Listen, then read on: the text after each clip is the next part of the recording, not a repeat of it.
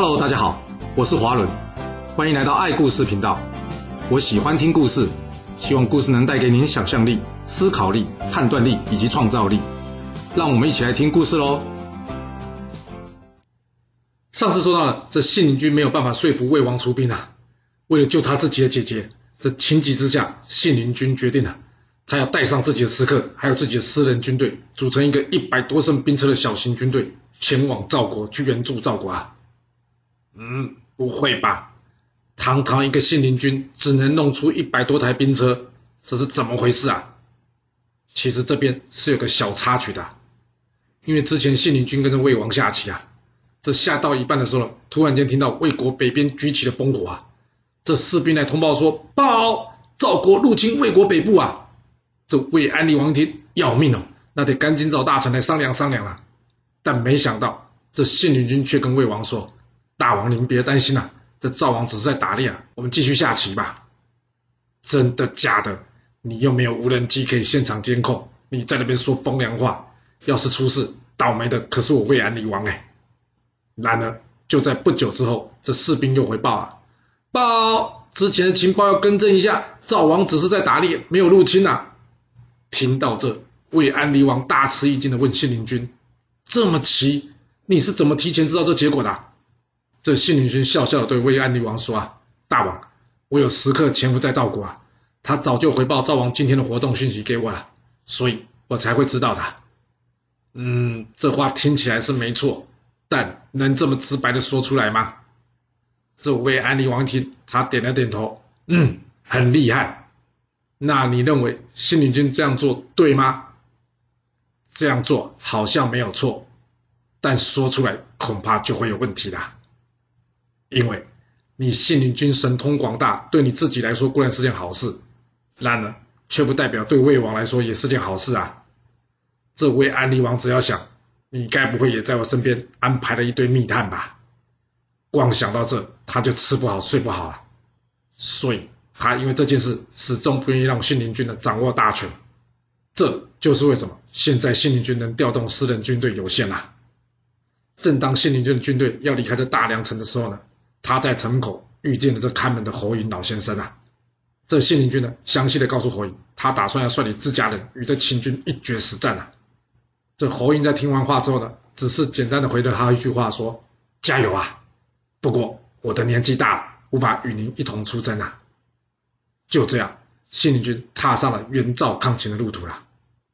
不过走着走着，信陵君想起刚刚侯嬴的态度，还有答话的内容，让他心里很不舒服呢。这信陵君说：“去，亏我之前对侯嬴这么礼遇，现在我都要去赴死了，但他却连半句有用的话都没有对我说。哎，哎，不对不对，难道是因为我有什么失礼的地方，所以他才不想理会我的吗？”想到这，信陵君又驾着马车回来了。他打开天窗说亮话，直接把心中的疑问告诉侯嬴。这侯嬴笑着对他说：“我早就知道你会回来了。”接着他说。你喜欢结交贤能的人，而且名声传遍天下。然而现在你有困难了，却没有人能帮助你，真的想出好办法来，搞得你呢只能率领自家人去跟秦军拼命。这不就像是拿肉包当做武器去投掷那饥饿的老虎一样吗？这有用吗？我刚刚的行为就是想要敲醒你，让你想不通而回来找我了。信陵君一听啊，难道你有办法解决这问题吗？他赶紧向着侯嬴拜了两拜，然后请侯嬴告诉他说：“先生呢，要如何解决眼下的问题啊？”这侯嬴两声之后呢，暗示信陵君将一旁的人先撤开啊。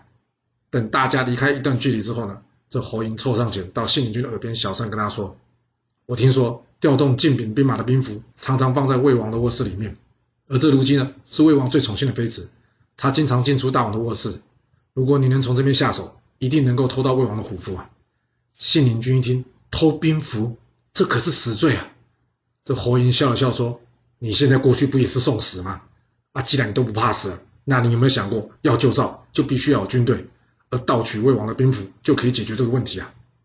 信陵君点了点头之后，他接着问侯嬴说：“那我要如何打动这卢姬，请他帮忙呢？”侯嬴接着说：“我听说卢姬的父亲被人杀害了，而这卢姬之前拿出重金悬赏已经有三年了，这件事公子你也知道的吧？”信陵君点了点头。侯嬴继续说：“啊，从大王以下，大家都想要帮着卢姬报仇啊。”但是却没有一个人能成功。然而我知道，公子您非常清楚卢姬的仇人是谁。要是您能将找到卢姬杀父仇人的消息告诉卢姬，卢姬一定会哭着请您帮忙。啊，你也知道他的个性，她虽然是个女孩子，但是她却是可以为了报仇而牺牲自己性命的人。那你说，这个拿人头换虎符的计划会不会成功呢？一旦拿到虎符，您就可以夺下晋平手中的军队，向北可以援救赵国，同时向西也可以抗拒秦国，就像春秋五霸一样为正义而战。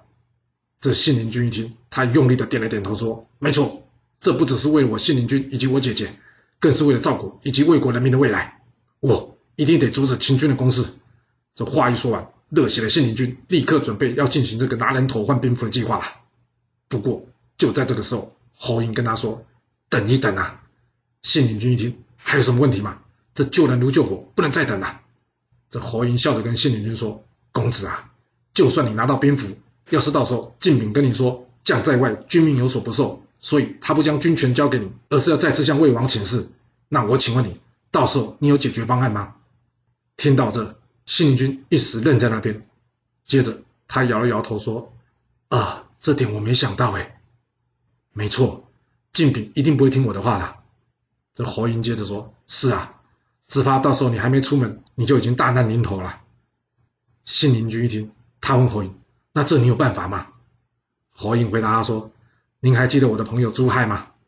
信陵君点了点头。您是说在市场的那位隐士吗？侯颖说：“是的。这朱亥呢，他天生神力，虽然他不喜欢当官，不过呢，也算是个有义气的人。这件事啊，让我去跟他说吧。我想他会协助您的。简单一句，晋炳愿意听您的话最好。要是他不听，那朱海就是去送他上路的人呐。”听到这，信陵君突然间泪如雨下。这侯婴问他怎么了？你害怕死吗？还是反悔了？信陵君说都不是，因为我知道晋敏是位勇猛善战的老将，他应该不会轻易相信我的。但这就表示我要杀了他。为了夺兵权，我竟然得亲手解决掉一位对魏国有贡献的人。侯莹沉默了一会，他让信陵君整理了一下心情，之后他跟信陵君说。走吧，跟我一起去见朱亥吧。两个人来到朱亥这了，侯婴向朱亥说明信陵君的来意啊。这朱亥二话不说，爽快的答应了。这让信陵君也感到好奇啊，因为他原先以为这朱亥有点讨厌他。这朱亥笑着对他说：“没这事啊，像我这样一位屠夫啊，却蒙您多次相请。说实话，我是很感谢您看得起我的。之所以没向你答谢，那是因为我不喜欢这些礼仪繁琐的事情啊。既然现在您有困难，而且又是去做一件主持正义的事啊。”我朱亥当然该义不容辞协助你，你说是吧？走吧。就这样，信陵君在一计解决掉卢基的仇人，换到兵符之后呢，他带着朱亥前往晋平的军营了。离开之前，他再次来见侯莹。侯莹跟他说：“公子，我本来应该要跟你一起去的，不过啊，我这身子实在是没办法经得起这舟车劳顿啊。我算了一下，大约几天之后，您就会抵达晋鄙的军营，到时候我将自刎向魏王谢罪，也算是替公子您送行了。”这信陵君一听，这怎么行？侯婴笑了笑说：“快去吧，迟了就来不及了。我已经活够本了，但我不想在死之前落个背叛国君的恶名啊！您就偿了我的心愿，别跟我争了吧。”说到这，信陵君泪如雨下，他再三拜谢侯婴，之后火速前往晋鄙军营了。到了叶县，信陵君假传魏王的命令呢，要代替这个晋丙。这晋丙一看，嗯，这兵符是真的。但他心里却十分怀疑啊，因为他很清楚，这魏安利王虽然倚重信陵君，但是呢，却也一直很害怕这信陵君，怎么可能将兵权交给他？于是他跟信陵君说：“我统领十万兵马驻扎在边境，担负着保卫魏国的重责大任。现在你一辆马车来到这，就想要接替军队的指挥权，我没搞懂你这是什么道理？”嗯，看来如信陵君所料。这晋炳想要不听信陵君的命令呢，然而说时迟那时快，正当晋炳转头一瞬间，这朱亥从袖子里呢拿出他预藏的一只四十斤的铁锤，哐的一声，当场就将这晋炳的脑袋砸个粉碎。然后他高呼一声：“有不听魏王命令者，这就是样板！”大家一看，哇，我的老天啊！这铁锤在这人手上，怎么就像是木棍一样轻盈啊？而且看来这个家伙是个天生神力的高手哎！加上人家信陵君确实是拿有兵符，而晋敏也的确是违反王命，所以呢，没有人敢多说一句话。就这样，信陵君取代晋炳成为这十万大军的统领了。说句实话，我一直想要知道一件事，那就是这一只四十斤的铁锤到底有多大只啊？还有，要怎么将这么大铁锤藏在这袖子里面，然后行动自如，不被人家发现啊？啊，好了，这不是重点，重点是行动之前铁锤没有掉下来，要不然他可能得跟建平说他是一位汽车修理员之类的话了，那就太搞笑了。这谢灵军掌握兵权之后呢，他立即向军队发号施令说。这父亲和儿子都在军队的，父亲可以回家；还有哥哥跟弟弟都在军队里面的，哥哥可以回家。另外是家中唯一儿子的，也可以回家去奉养双亲。就这样扣扣减减之后，魏军只剩下精兵八万人。听到这就可以知道，信军一定是个善于用兵之人了。一般人家军队人数呢是越多越好，但他却让两成士兵回家。安娜，你有没有想过他为什么要这么做啊？这么做有两个好处。一留下来的人必定拼命杀敌，要不然家里的另外一位家人就可能要再上战场了。二，既然家里的人已经有人照顾了，自然也就没有后顾之忧了，所以可以无所顾忌拼命向前了。毕竟魏军要面对的是这虎狼之师的秦国，这连连战败魏军必须从心理上重新建立起作战意志啊。完成好了之后，接下来信陵君率领这八万人。直扑邯郸，准备援救赵国，与秦军一战啊！而与此同时，平原君除了让自己的夫人向魏国求救之外，他自己则是告诉自己的门客说：“我要去楚国搬救兵。然而，我们这趟去楚国必须抱着必死以及一定要成功的决心。换句话说，若能成功说服楚王与赵国合纵，然后出兵援赵，那自然是最好。但要是楚王不答应，哪怕即便是要在楚国华丽的宫殿之中动起手来威胁他，我们也得进行，知道了吗？”这次我要带去的人不需要多，只需要二十名文武兼备人跟我一起前往楚国即可。这么说的意思就是要组成一个二十人的敢死特工队啦。那会有人愿意参加吗？有的。经过一轮挑选，平原君选出了十九位文武双全的人，但还差一位，该怎么办呢？算了，忘了这件事吧。哎，这怎么可以呢？说好二十就是二十，但找不到人怎么办呢？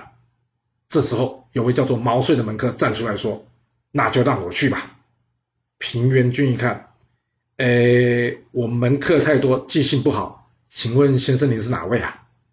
这毛遂介绍完自己之后，他跟平原君说：“我没有录取正选，不过您可以将就一下，就让我担任备取第一人好了。”这平原君一听，他跟毛遂说：“先生，您到我这多久了？”毛遂回答他：“不长不短，有三年了。”平原君再接着说：“啊这有能力的人啊，就像是锥子放在布袋里面啊，早晚呢会刺破袋子露出头来的。您来我这三年了，从来没有人向我提起过您，甚至啊，我也没听说过你有什么事迹。换句话说，你的才能……呃，我想你还是别去了，留下来吧。”这毛遂笑了笑说：“臣乃今日请处于囊中人，十岁早得处囊中，乃引托而出，非持其莫见而已啊。”翻成白话意思，我没有刺破袋子，那是因为我根本就没有被放进去袋子过啊！要是你早点把我放进这袋子啊，我想你看到我钻出来的将不是一点点的锥头啊，而是整根锥子掉出来啊！哇，有没有那么有自信啊？而毛遂这句引托而出啊，就成了后来成语典故“脱颖而出”的由来，比喻什么？显露才能，超越众人啊！这平原君一看，嗯，好了。既然你这么有自信，那我就带上，给你一个机会吧。不过，虽然平原君给毛遂机会啊，但其他随行的十九人却在一旁偷笑。他们认为这毛遂一定会成为他们特工队的笑柄啊。但真的是这样吗？来到楚国之后，大家讨论着要如何说服楚王，结果没有一个人讲得赢毛遂了，所以最后决定采用毛遂的理由，由平原君做代表去向楚王说明了。不过，这楚王见是见到了，但是平原君说服楚王的工作，却从太阳刚刚一出来，一直谈到这日正当中都还没搞定啊。这时十九位门客异口同声对毛遂说：“我看老板搞不定了，还是你上吧。”不会吧？想挖坑给毛遂跳啊？不过这毛遂可没在怕的，他手握着剑呢，快速走到平原君身边说：“这合作抗秦的好处啊，两句话就可以说明清楚，然后决定下来了。你怎么有办法从一大清早讲到日正当中都还没办法搞定啊？”这楚考烈王一看，哎，哪里来的冒失鬼，没礼貌！他对平原君说：“这哪位啊？”这平原君回答说：“啊，不好意思啊，他是我的门客啊。”楚考烈王一听，什么东西，连个官职都没有，还敢上前来大小声？于是他大声斥责这毛遂：“给我滚下去！我正在跟你老板谈正事，轮不到你来插嘴。”然而毛遂完全没有理会这楚考烈王的大声呵斥啊，他按着剑走上前说：“大王，你之所以敢对我大小声，是仗着你楚国人多是吧？但是我现在跟你的距离不到十步，你楚国人多有什么用啊？”你的性命现在是掌握在谁手里？你有没有搞清楚这状况啊？我老板在这，就算要我退下，也该由他说。你有什么资格对我这边大呼小叫的？大家都听说过，商汤当初凭借着方圆七十里的土地就能成为天下帝王，而周文王则是用方圆百里的土地就能号令天下诸侯臣服。人家靠的是人多吗？不是啊，他们靠的就是能把握有利于自己的地位以及形势。进而展现他们的实力。现在你楚国土地方圆五千里，士兵百万，这都是楚国有机会称霸天下资本。楚国的强大力量，天下间有哪个诸侯可以抵抗啊？但是就秦国一个不起眼的白起，只带领了数万人的军队，一战就占领你楚国的燕营两地，然后再战烧毁你楚国的夷陵，三战更迫使大王的先祖受到了侮辱。这些仇都是你楚国人几百年都难以忘记的。说句实话。连我赵国都为你感到羞耻，但我今天看你却丝毫没有这种被人羞辱的感觉。秦赵合纵抗秦，你以为是在救赵国吗？其实是在帮楚国血耻，你知道吗？楚考烈王在听完毛遂的一番话之后呢，他说：“呃，是是，嗯，好像也不能说不是哈，因为毛遂的手还在剑上面呢。”这楚考烈王接着说：“呃，确实是像先生你说的那样啊，啊，那好，我愿意拿出全国力量与赵国合纵抗秦啊。”这毛遂接着说：“大王此话当真？”楚考烈王说：“当真，当真了。”于是毛遂转过头来对楚王左右两边人说：“那你们还愣着做什么？没听到你家大王说的话吗？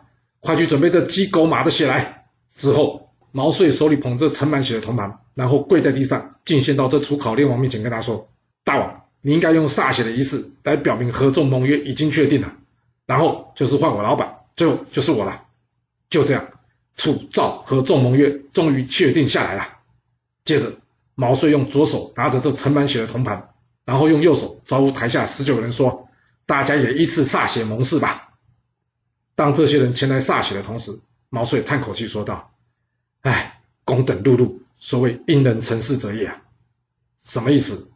就是你们这些人庸庸碌碌，无所作为，最后还是得依靠别人来成就事业啊。”而他这句话。也就成了后来成语典故“因人成事”的由来啊，比喻什么？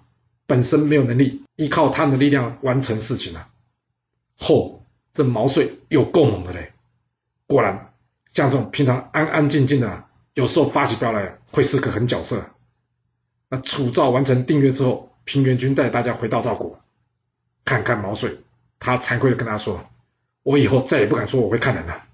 我看过的人，就算没有上千，也有数百了。”我还以为我自己很厉害，很有本领，谁都逃不过我这双眼睛。但就看今天我看错先生你这件事，就知道我错的有多离谱了。